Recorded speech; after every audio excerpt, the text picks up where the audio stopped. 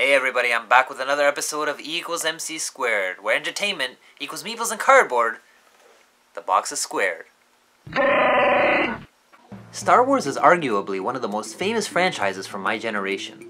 Many of my friends and I, we grew up with such iconic characters as Luke Skywalker, Han Solo, Chewbacca, Princess Leia, Darth Vader. When Fantasy Flight Games released Imperial Assault near the end of last year, I felt kinda like this.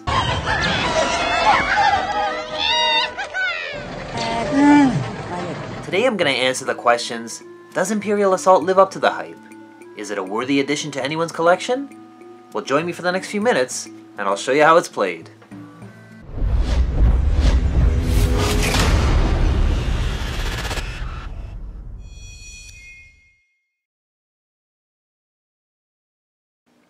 As you can see, there is a lot of stuff here. I'm not going to go over everything in detail. I'm just going to focus on what's needed when you actually sit down and play the game, and I just want to focus on the actual experience. This game is set up for two rebels against the Empire. Typically, rebels are given a specific objective, like controlling a certain area, trying to survive a certain number of rounds, searching for a particular item, whatever. In this particular mission, they're trying to secure each of the five terminals. There's one over here, one here, one in this room, and then a couple back in there. So in order to achieve that, the rebels have to make sure that their figure is the only one adjacent to a terminal at the end of a round.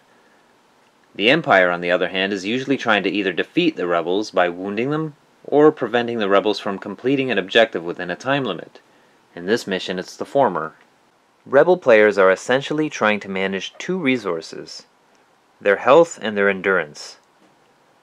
When a hero's health is reduced to zero, they become wounded, and then you'd flip this card over, just like that. Now, one thing I think is really clever in this game is that a wounded character's stats and abilities change. You can see here their health is the same, but their maximum endurance is reduced by 1. I like how this simulates the character being injured by not being healthy enough to perform uh, special abilities. You can see here they had two abilities to begin with. Now that he's wounded, he can only use the one ability. So far in this mission, the Empire has been going all out on the rebels by continuously deploying troops and reinforcements. So what he doesn't want is for the rebels to end up adjacent to these terminals here. Because if they do that, they're securing those terminals and that just gets them closer to victory. Rebel players are the only ones on their turn who can attack twice. Now, what I can do as a rebel is suffer endurance to, or suffer strain to move ahead without actually taking a movement action. And I'll still have two actions left. So if I move Diala up 1, 2, she takes two strain tokens that's going to go on her character sheet. So now she's in position to do a couple of attacks here. I think what I'm going to try and do is take out this guy here. So I've got the dice. I'll try to roll them in view, but if not, then you have to take my word for it. So there we go. This surge can be used to do an extra damage. This guy will suffer 2 damage. Put that there. Uh, we'll do another attack. Because I want to get him out of the way for a specific reason. Now, hopefully it works. Alright, so that would be two more damage. I could use that surge for three, but this symbol removes a surge, so it's only another two damage, so it didn't go the way I wanted it to. So I'm going to explain a little bit about the Empire and how their turn works. At the start of a mission, they're given deployment cards. Now, I ended up starting with these four. This is a stormtrooper group, but they got killed already, so when they get killed, you just flip them over. They can be redeployed later on by spending threat points. So these ones are available. The probe droid has already been it's already moved, so this card has been exhausted. It'll come back in use next round. So I think the best thing to do here is attack with the elite guard, the stormtroopers. So the rebels' plan was to take out the stormtrooper here at least, and hopefully that would have paved the way for Fenn to get in here over adjacent to this terminal. It didn't happen that way, so well, maybe he was back here, I don't know, whatever. So it didn't happen that way. Now the stormtroopers have a chance to get to that terminal and keep the rebels from securing it. So the Empire cannot attack twice on their turn. They can only attack once. So I'm going to move the stormtroopers. They have a movement of four. So let's just go. Oh, sorry. Gets a little crowded on this board. One, two, three, four. And I still have line of sight to Diala. I'm going to attack her. Wow. Just take out the door there. Holy cow. Four damage. This means that a surge is removed, but there were no surges, so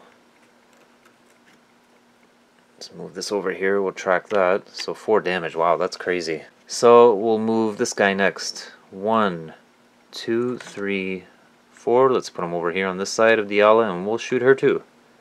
Because we're just mean like that. Alright, so this time she actually blocked one, but that surge gives an extra...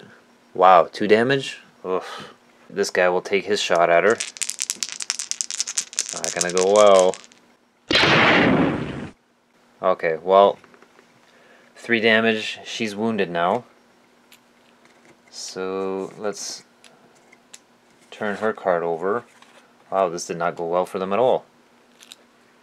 And we'll finish his movement. One, two, three. I think we'll stop there and just block that way so that the rebels can't get in there.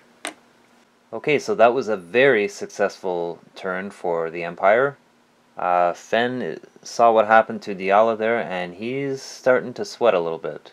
He's going to try and make a break for it all the way down here, because if he can suffer strain and get adjacent to this terminal, he'll have one attack left, maybe take out this guy.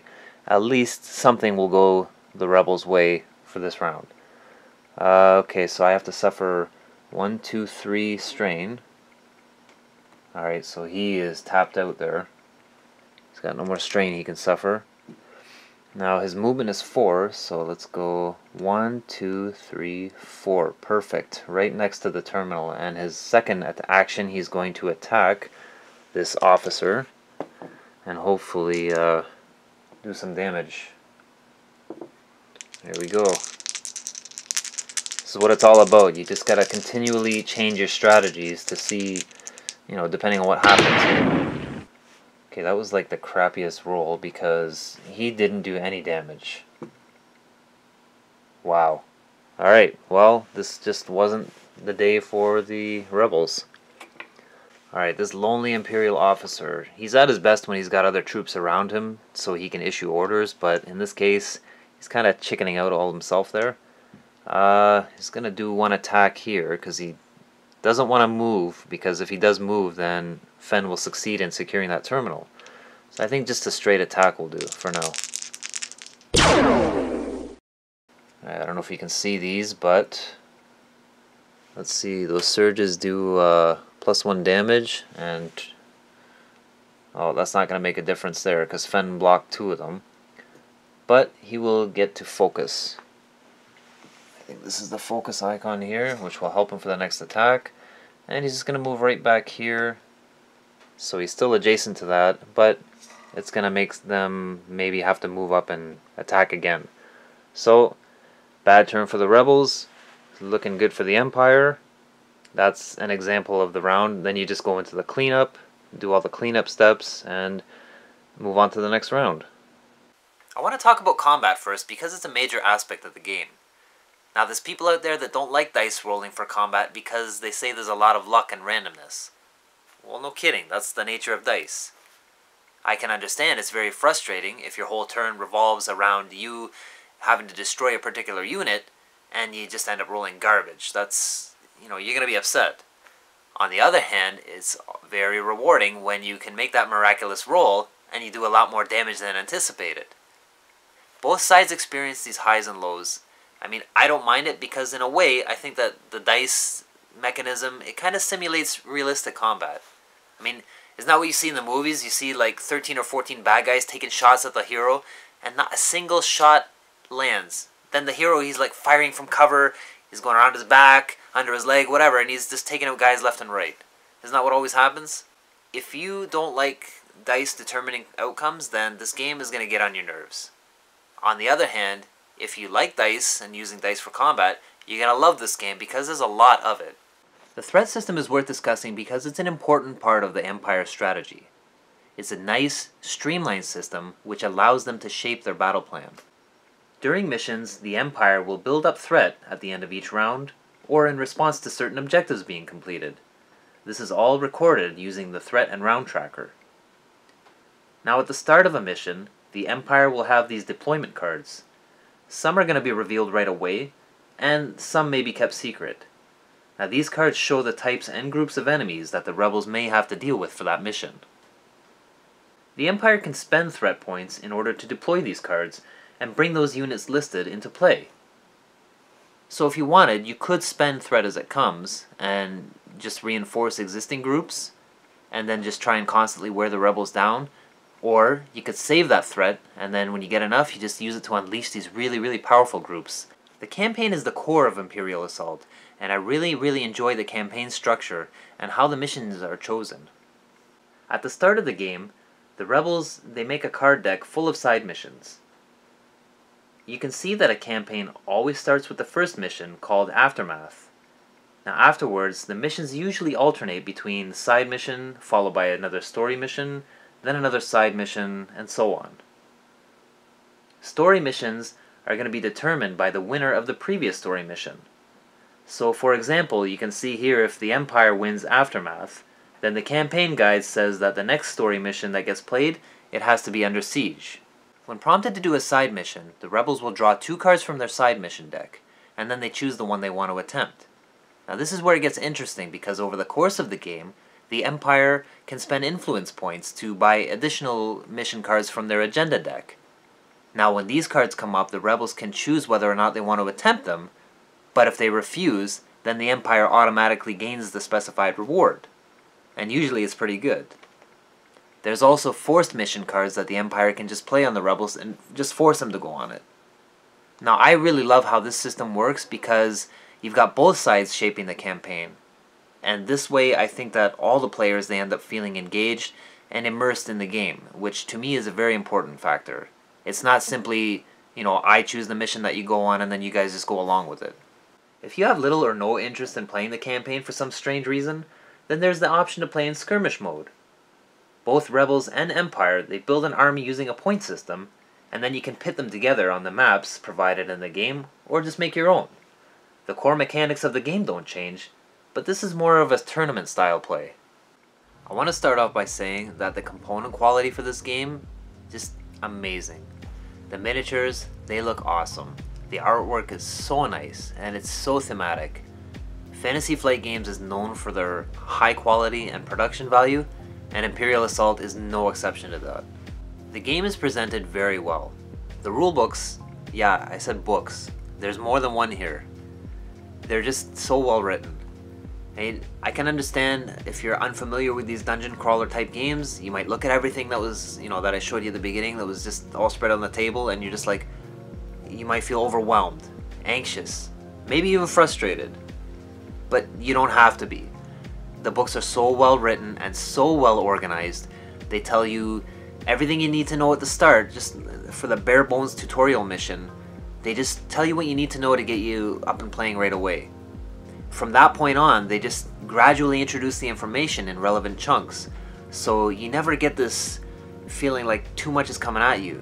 It's so simple and it's very well done. I mean, the only thing that could be better is having the designer come and teach you the game himself. Now, do you have to be a Star Wars junkie to enjoy this game? No, I don't think so. I mean, I like Star Wars, but I'm nowhere near a fanatic. For example, you'll never catch me doing anything like this.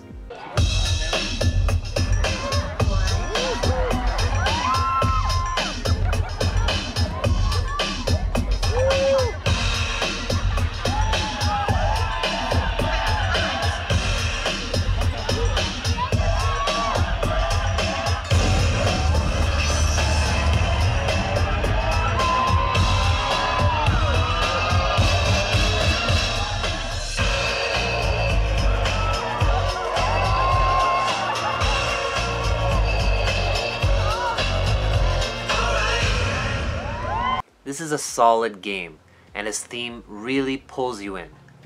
I think you'll enjoy it a lot more if you are a big fan of the Star Wars universe, but if you're not, just don't let that stop you from trying this game out. I would certainly check it out. It's a great game. Now with all that said, how might a person feel who's not too familiar with these dungeon crawler type games? To get the most out of Imperial Assault, you're gonna have to spend some time learning it. I mean, ideally, you know, you will have bought the game, you're gonna read through the rules, you'll understand it fairly, fairly well, so you can teach it to new people. But, unfortunately, that also means that, like me, you're gonna be stuck playing as the Empire most of the time. Because you simply cannot expect a new player to come join the game and then have them in charge of setting up the mission and then just controlling all the information in the game. It's just too much for them. At the time of this review, there's a lot of additional content in the way of boxed expansions and booster packs. Are they essential? The short answer is no, probably not. But you gotta keep in mind, Imperial Assault was made to be expanded upon. If you're a casual gamer, or if you prefer a collection that has a lot more variety, this game might not appeal to you. Fantasy Flight may as well have named this game, just give us your money. I'm not saying it's a bad thing, you certainly get your money's worth, but after you play the campaign a couple times, maybe a few skirmishes, I'd be very surprised if you didn't buy any of the extra content that's available. So, back to my initial questions. Does Imperial Assault live up to all the hype? Is it a worthy addition to a gamer's collection?